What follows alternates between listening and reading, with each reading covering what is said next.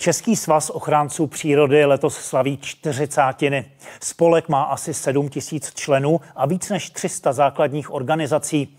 Jedna z nich se má čile k světu v radnicích na Rokycansku, kde možná překvapivě zachránili synagogu, ale taky zbudovali tři naučné stezky. Na té, která vede do nedávna ještě málo známým údolím Olešanského potoka, spojili síly s příznivci hledání kešek. V následující reportáži si ji projdeme. Je ale jen půl druhého kilometru dlouhá a tak se zastavíme i v radnicích. Předtím, než se vlévá do Berounky, protéká Olešenský potok těžko přístupným terénem. Do toho se nemohla dostat těžební technika a tak tu zůstala divoká příroda, do které zavítali leda tak chataři. Ale pak jsem jednou při úklidu břehu řeky zabloudila parta geokešerů. Ponořili jsme se do údolí, které v podstatě jak pohádková země. Porostlé mechy, malé vodopády, kaskády.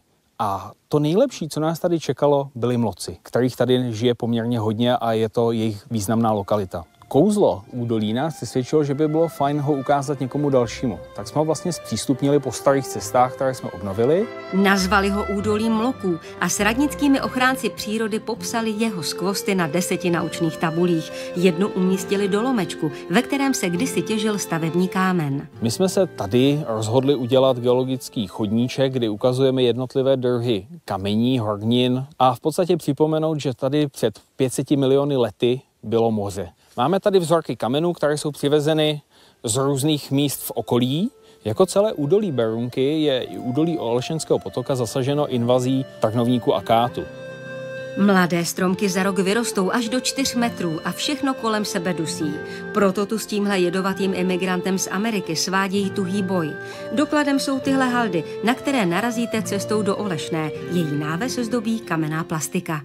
Tahle ta socha znázorňuje Ježíše Krista, chvilku před jeho ukřižováním, kdy je předveden po bičování před Piláta Ponského a ten ho předvádí před Židy a říká, ejhle člověk, což znamená to latinské ece homo. Od barokního světce zbývá kilometr ke křižovatce u Němčovic. Na ní budí pozornost tihle dřevění skřídci, kteří stejně jako jejich příbytek ještě voní novotou. Pana starostu napadlo, jak přibržďovat auta tady před naší obcí, protože vidíte, že tady máme hřiště dětský tak kvůli bezpečnosti třeba i dětí a hlavně eh, cestujících z autobusu, tak eh, ho napadlo postavit tady pařezovou chalupku. Omítka je dodělaná tak, aby to vypadalo, že to je pařez. Do cíle v Radnicích zbývají čtyři kilometry. Z cesty stoupající ke Kalvárii je městečko jako na dlani.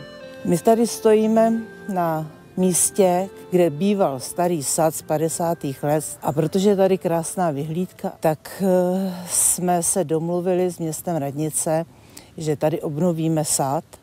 A před třemi roky jsme tady vysadili 50 stromů, samé staré odrůdy. Podobné dobré nápady radnických ochránců přírody se rodí tady, v synagoze, kterou po roce 1989 koupili v žalostném stavu. Od té doby jsme začali tu synagogu opravovat postupně, jako když vlaštovky lepí hnízdo, skončilo to instalací tepelného čerpadla, které vlastně nám umožňuje celoroční provoz. Bývalá židovská modlitebna sloužila skoro 50 let jako autodílna. Teď je opět důstojnou památkou, jejíž prohlídku vám rádi umožní pracovníci místního muzea.